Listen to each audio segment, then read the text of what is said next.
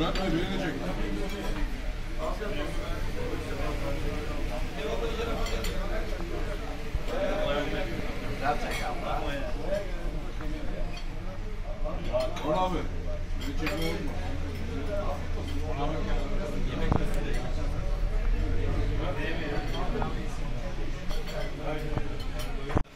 Allah razı olsun.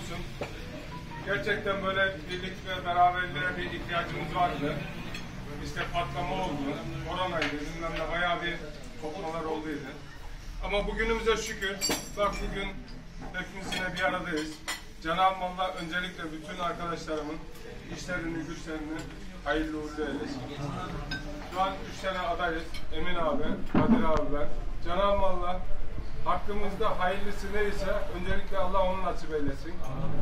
Burada Kadir abi de, Emin abi de, ben de fark etmiyor. Yine kazanan biz olacağız muhtarlar olarak.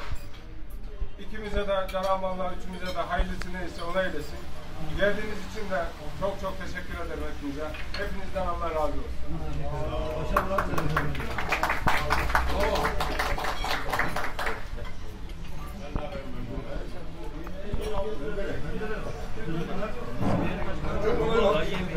Vali Bey, Vali Bey e, camide cuma namazı kılacakmış.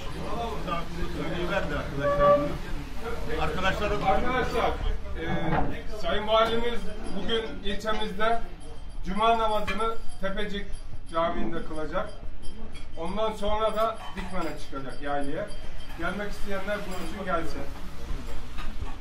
Abi dikmeden yemek var mı? Var.